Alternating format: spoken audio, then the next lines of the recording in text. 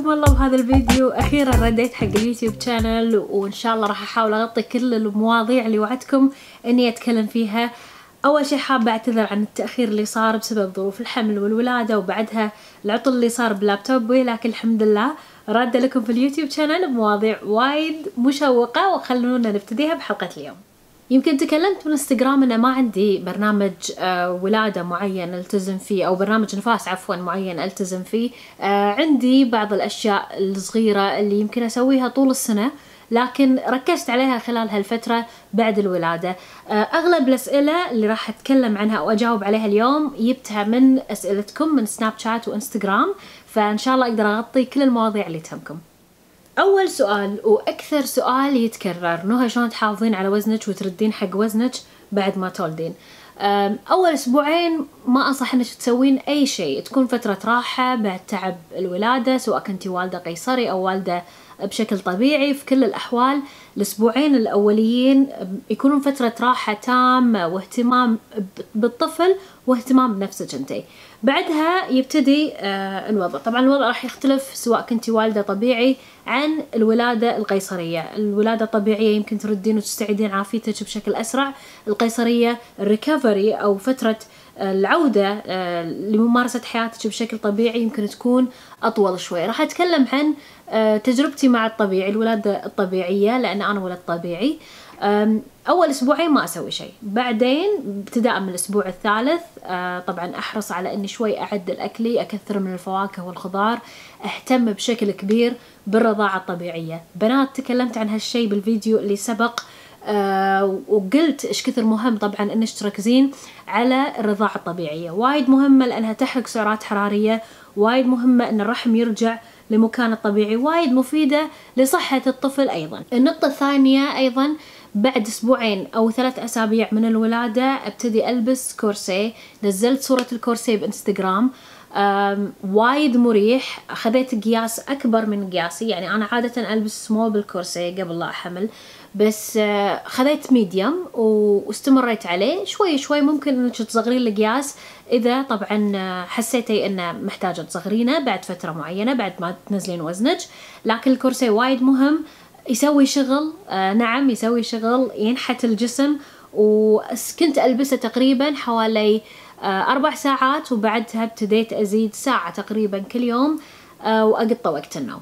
متى أرجع أمارس الرياضة؟ أمارس الرياضة تقريبا بعد شهر أو بعد ست أسابيع من الولادة ما أنصح أنك تبدين بداية قوية يعني ربع ساعة عشرين دقيقة نص ساعة وتتدرجين لغاية ما تصلين لخمسة وأربعين دقيقة أو ساعة ثلاث مرات بالأسبوع. عادي تصبغين شعرك وانتي ترضعين إي عادي تصبغين شعرك وانتي ترضعين أصلا وأنا حاملة كنت اصبغ شعري في سؤال انه تاخذين فيتامينات أثناء الرضاعة؟ إي آخذ فيتامينات. وايد مهم أحس هالشي خصوصا بعد الرضاعة أو مع الرضاعة كثير من السيدات يعانون من تساقط الشعر تعب بالبشرة والسبب نقص الفيتامينات في الجسم.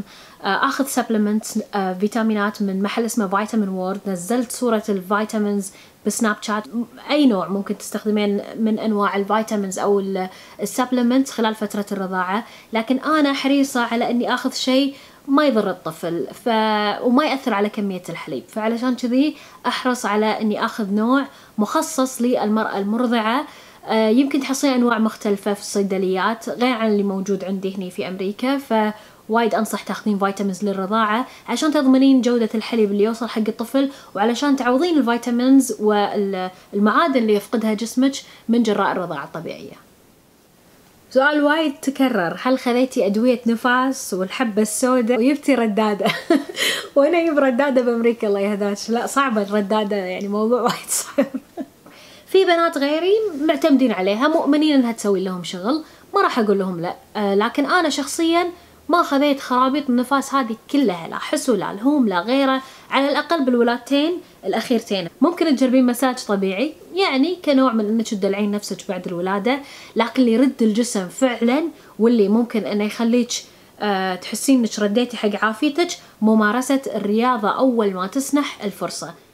شلون تعدلين نومة الطفل؟ صعب إنك تعدلين نومة الطفل بيوم وليلة لكن مهم إنك تلتزمين بروتين معين عشان الطفل يفرق بين الليل والنهار. ما راح يجيب معاك هالشي نتيجة أول أسبوعين أول ثلاثة أسابيع. مبدئيا حاولي كثر ما تقدرين تنامين مع الطفل وتقعدين معاه عشان وت... عشان تعوضين التعب اللي بجسمك. وأهم شيء تهتمين بتغذيتك وبالأكل المفيد علشان تستعيدين عافيتك بسرعة. شلون تعاملتي مع المولود الجديد بوجود طفلين صغار بالعمر؟ محمد ودانا من من وأنا حامل أحاول كثر ما أقدر إني أكلمهم عن المولود الجديد إنه بيهم أخو إن الاخو بيجيب لهم هدايا وإن بي هم اللي بيكونوا مسؤولين عنه وهم اللي بيدارونه علشان موضوع الغيرة هذا كثر ما أقدر أتفاداه. والحمد لله بعد الولادة يعني صار في غيرة خفيفة بالذات من قبل دانا يمكن لأنها البنية ولأنها الأصغر. بس عموما حاسين إنهم مسؤولين عنه. يعني أحاول حتى أخليهم يساعدوني ساعات بتبديل ملابسه تغيير حفاظته بسباحته. فالحمد لله so uh, far الأمور under control هل عندكم تطهير للطفل الذكر في أمريكا؟ وشلون سويتيها؟ اي في تطهير. راح تتفاجئون إيش كثر في أجانب عندهم تطهير يعني مو بس اليهود حتى المسيح هني آه كثير منهم يشوفون إنه من النظافة إنه يتم تطهير المولود الذكر.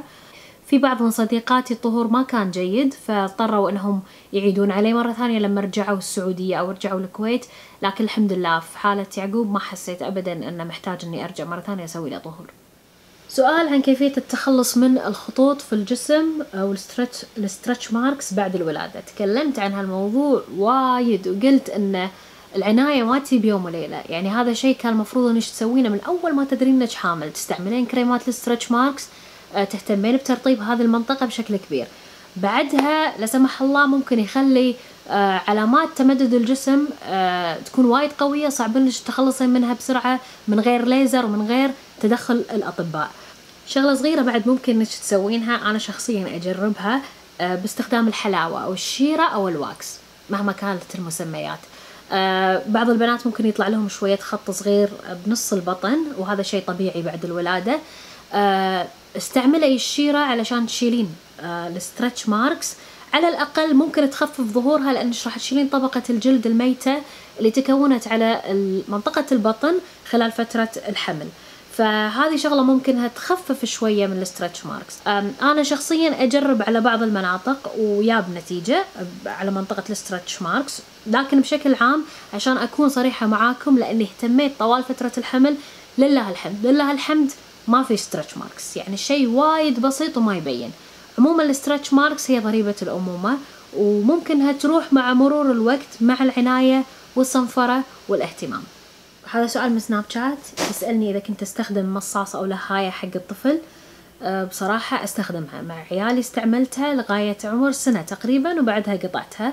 أه طبعا باهتمام طبيب الأطفال. أكد لي طبيب الأطفال أن ما في أي شيء يضر الطفل من المصاصة أو من اللهاية. إذا تم أه طبعا فصلها أو فطامة منها قبل لا يصير سنتين. أنا على عمر سنة تقريبا وخلاص أوقفها. ما يفرق ما راح يضر الطفل بالعكس ممكن يهدي نفسيته أكثر آه يريحك أكثر يخليه ينام. فما في أي أضرار من استخدام المصاصة مع الطفل حديث الولادة. وهذه المعلومة خذيتها بشكل مؤكد من طبيب الأطفال المشرف على آه عيالي وعلى يعقوب تحديدا. هل تعتمدين على الحليب الصناعي وتدخلينه إلى جانب الرضاعة الطبيعية؟ إطلاقا؟ وحاول حتى شفط ما أشفط لأن كل ما سويتي هالأمور كل ما ابتديتي تدخلين شيء صناعي في الموضوع يقل إفراز الحليب يتأثر الطفل صدقوني الرضاعة الطبيعية ما في أسهل منها. إذا عرفتي آه تمارسينها وتبتدينها بشكل صحيح أول أيام يمكن يكون فيها ألم يمكن يكون فيها تعب يمكن تحوشك سخونة حليب لكن مع مرور الوقت لما جسمك يتعود على كمية الحليب اللي يفرزها راح ترتاحين وايد وراح تحسين إن الرضاعة الطبيعية شيء وايد سهل ووايد بسيط ووايد مريح.